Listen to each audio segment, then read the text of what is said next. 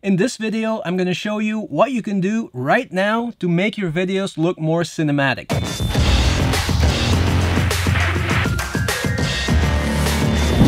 Okay, look, the YouTube filmmaking community is built on that word, cinematic, and real real filmmakers don't like that, but I mean, what's wrong with that? We're all having fun here, we're all learning new things, there's nothing wrong with that. Cinematicness, I mean, I love that word, even though it's probably not a word, but that doesn't matter. Anyway, so today I want to show you what you can do to make your videos look more cinematic. But before we start, you need to understand a few things. First of all, there's no such thing as a universal cinematic look, that doesn't exist. It's all super subjective. And when I look at all the questions that I get on this topic, it's clear that you're not all looking for the same thing. Some of you ask me about slow motion, some of you ask me about aperture, and some of you ask me about colors. So what I tried to do in this video is bring all those things together that could affect the cinematicness of your videos, of your footage. Some things are underrated, some things are overrated.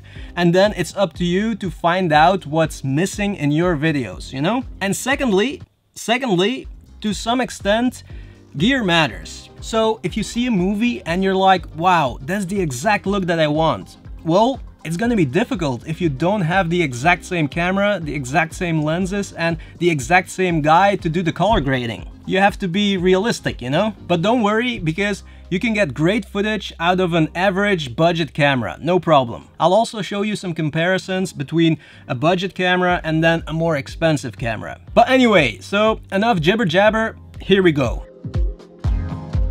How to get a blurry background. It's usually one of the first things beginners look for, getting a shallow depth of field. But when it comes to making your videos look more cinematic, it's not about how blurry the background is, it's about having control over the blurriness of the background. That's what it's all about. I also think that a blurry background looks beautiful and cinematic, but you don't want it always super blurry. It depends. When the background is important, for example, you don't want to blur it out completely. But then if you want to really isolate the subject, remove all the distractions, then you should go for a blurry background. And of course, the setting that controls the blurriness is aperture. But it's all about having control, and there's one piece of gear that gives you that control, an ND filter. An ND filter is a filter that you screw on your lens, and it blocks a certain amount of light.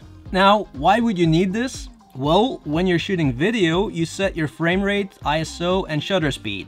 And ideally, you don't touch those settings while you're shooting, especially shutter speed and frame rate. Unless you want slow motion, of course, but that's a different story. So, the only settings you can use to adjust the exposure is ISO or aperture. But ISO, you also don't want to touch if you don't need to. So that leaves just one, aperture.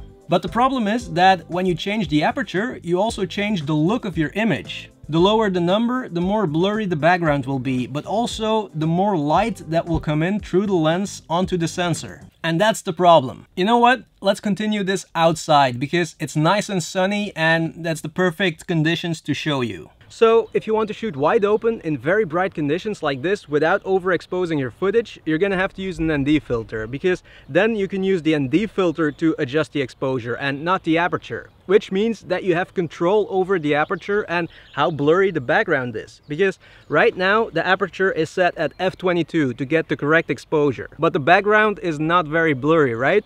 So what if I want a blurry background? Well, then I'm gonna have to use an ND filter, which I will do right now. And now the ND filter is on and I'm shooting wide open at f1.8. The ISO, just like before, is on the lowest setting. And you can see now, maybe it's a little bit exaggerated, f1.8, but now you can see the difference with and without ND filter. I can get a nice blurry background in these bright conditions because I can adjust the exposure with the ND filter. Let me show you. So I can make it brighter and darker just by twisting, turning the ND filter. So recap, a blurry background looks beautiful and cinematic, but you have to have control. It's a creative choice and that's why you need ND filters. The problem with light is, first of all, that there's easy light and difficult light to shoot in, and then also ugly light and beautiful light. But of course that's subjective. Now, what I always do, because I don't have a crew to light my scenes outdoors, what I always do is pick the right time of the day to shoot in. To shoot at. To shoot in. English. I probably say so many things wrong, but sometimes there's just one thing that I start focusing on, like right now. Picking the right time of day to shoot in or at. Let me know. Um, Anyway, so here in my studio, it doesn't matter because I can control all the lights and I can make it look like whatever I want. If you want to see a breakdown of my lighting setup here in my studio, then check out this video. Okay, um, but outdoors, different story. On a cloudy day, it's not really that important because the clouds will make the light nice and soft even though it will look different in the evening compared to at noon for example, but you won't have that harsh sunlight. But on a sunny day, I always try to avoid noon. If I don't have to shoot at noon, I won't. I'll always try to shoot in the evening or in the morning. It's easier and it just looks better. Let's go outside again. This is what it looks like at noon on a very bright day and it doesn't look very nice. I mean, there's all these harsh shadows in my face. I have to squint my eyes. The highlights are too bright. It doesn't look nice. And this is what it looks like in the evening. The sun is almost gone and the light looks a lot softer now. There's less of that harsh UV light and in general, it already looks more cinematic and it's easier to shoot now. So it's all advantages. And another technique you can use is backlighting your subject. It's something you see a lot in movies because it creates depth and that's what it's all about when creating a cinematic looking image, depth. So my favorite times to shoot at are golden hour, right before sunset, and blue hour, right after sunset. They both look completely different, but both are equally beautiful. And it makes it a lot easier to get great looking cinematic looking footage. This is what most filmmakers look for when they're buying a new camera, a lot of dynamic range. So a camera that has a lot of dynamic range or a sensor, it means that the sensor can capture a wide range of light intensities. Ooh, I hope my wording is correct here because when it gets technical like this, then my English is not, uh, you know, it's not up there. But anyway, I think you understand what I want to say, right? But anyway, so yeah, and a lot of dynamic range is usually also associated with a cinematic looking image. It doesn't have to be, but usually it is. But let me just show you again, outside. It's a super bright day. I tried to set up a high contrast scene here and I'm shooting with my Canon M50, which doesn't have a lot of dynamic range. So I know that I'm gonna lose either detail in the highlights right here or the shadows. It depends on what I expose for. Right now, I tried to expose my face properly, but you can see here already, I think that the highlights, they're losing detail. And now I switch to my Sony a7S III and it has a lot more dynamic range. So that means that it can capture a lot more detail in the highlights and the shadows. I hope you can see it here in the highlights and then the dark tones of my t-shirt and the tree behind me. So there's a smoother transition from highlights to dark tones and it generally looks nicer and more cinematic. Cinematic. And here are some more comparison shots. So what you can do when you have a camera that doesn't have a lot of dynamic range? Well, go back to the previous tip, light. Try to shoot in low contrast conditions, lighting conditions. Try to either have control over the light, like in my studio here, or if you're shooting outdoors, then try to pick the right time of the day, low contrast. Evenings, mornings, cloudy days, People really underestimate the power of light when it comes to the look of your image. This is not something that you can learn in a day, but you can definitely start right now. Composition is super important and a good composition makes your image look more professional and cinematic. And an easy way to start is to just simplify your compositions. Don't try to cram too many things in the frame. Keep it simple. Make sure that the viewer can see right away what the subject is and that there are no distractions. And there are a lot of guidelines that you can use when you start to learn about composition. Look for the rule of thirds and golden ratio, you know, all of those things. It can help. So composition really affects the look of your videos, from chaotic and amateuristic to professional and cinematic. Also simple things like cutting off a head too much or limbs. And often it's just a matter of taking a step to the left, left, this is left for you, to the right, or a little bit back to get that head in the frame or a limb, you know?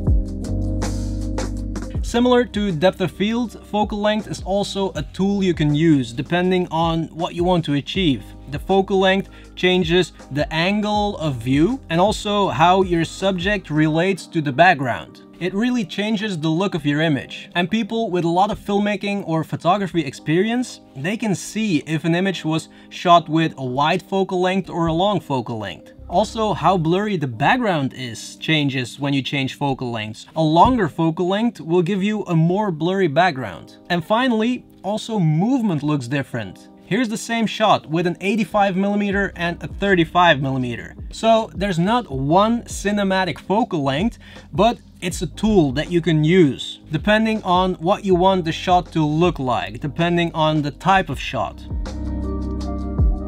Here on YouTube, a lot of times cinematic is synonymous with slow motion and vice versa, but just forget that. I mean, there's a time and place for slow motion and it does look really cool, but shooting a whole video in slow motion doesn't automatically make it cinematic. Not at all. There's a lot more to it, and what if you want sound? You can't shoot a conversation in slow motion, that doesn't make sense. But yet, maybe you do want to make a conversation look cinematic. So again, it's a tool that you can use to make a shot look more dramatic, for example. And if you use it well, it looks great. But shooting a whole video in slow motion doesn't make it magically cinematic. That's not how it works. There's also not one movie that's shot entirely in slow motion. That would be... Whew. But you should definitely learn how to do it. You know, learn about frame rates and shutter speeds because at some point in your filmmaking journey, you're gonna have to shoot in slow motion. Just not all the time. This is another very controversial topic. Look, here's my point of view, my opinion.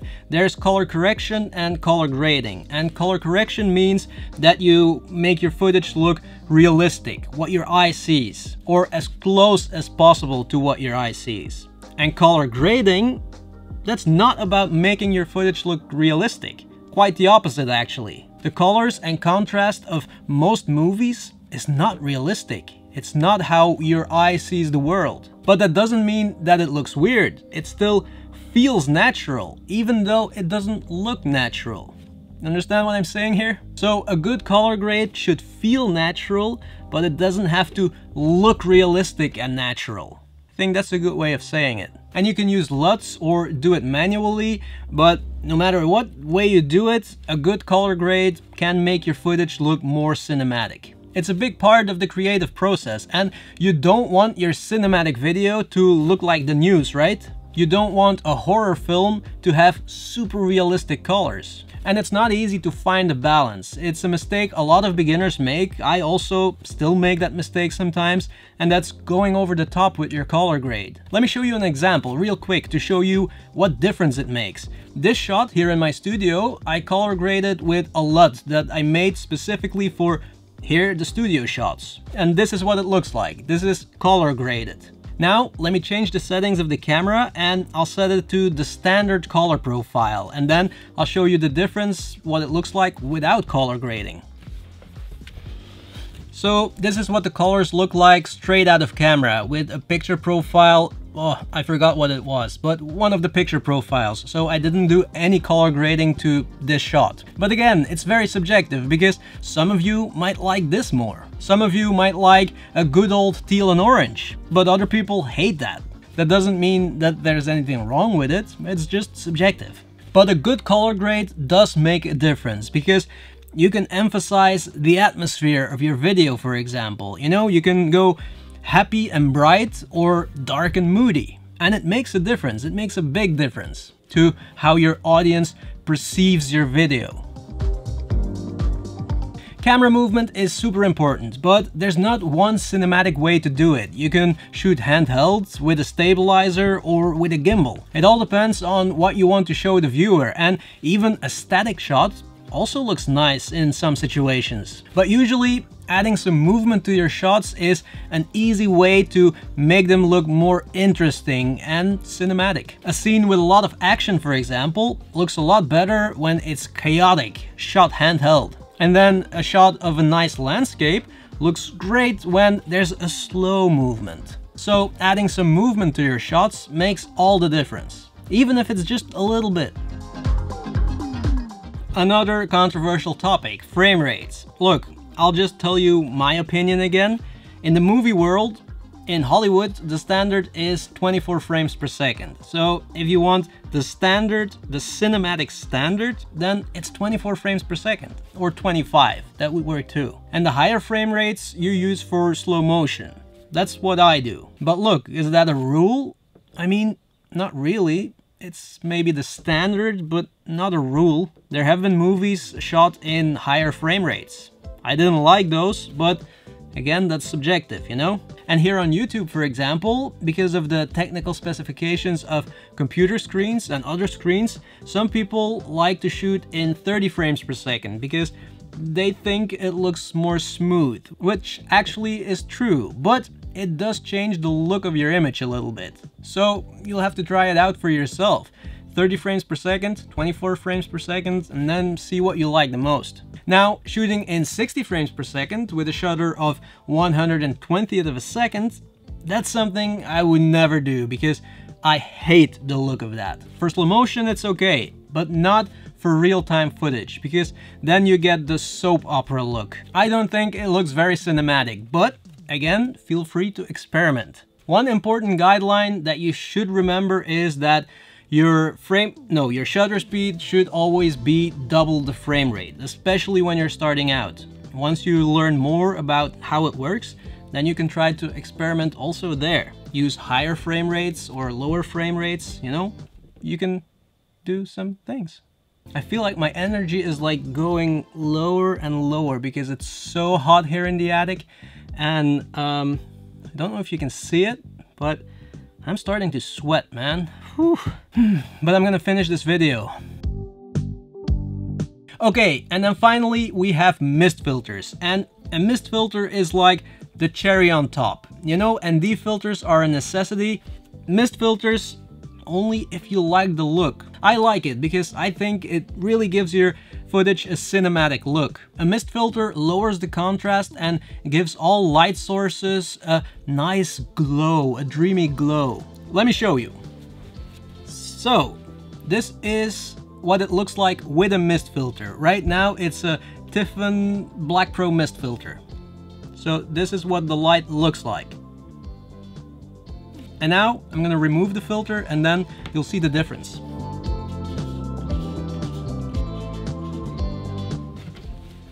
So this is what it looks like without the mist filter. See this light source, it looks a lot harsher. You don't have that, that glow, that blooming effect. I think with looks a lot nicer. But hey, who am I? And a lot of other shots also look really cool with a mist filter. Sunset shots for example, or window shots. The light coming from a window also looks really nice when you use a mist filter, because it gets that glowy effect. And mist filters are not cheap, but I've noticed that a lot of times a mist filter is like the missing link for a lot of you. Because the effect is subtle, but once you know what it does, then, then you can see, you can really see the difference between with and without. And you'll be like, ah, that's it. Okay, wow, I think that was it. Was that it? This must be my longest video ever. But anyway, so I hope it really helps because I get this question a lot. I want to make my footage look more cinematic. What should I do? And you know, all of you are looking for something different. Always remember, there's no such thing as one universal cinematic look. That doesn't exist. It's super subjective. And also, it's not just about the look. Don't forget a good story and good music also makes all the difference. And most of the things that I've talked about in this video are tools that can help you to get the look that you want. But don't think that if you check all the boxes that automatically your footage looks cinematic, you know? Anyway, if you have questions, just drop them in the comments and I'll try to answer them. Thank you so much for watching and I'll see you in the next one.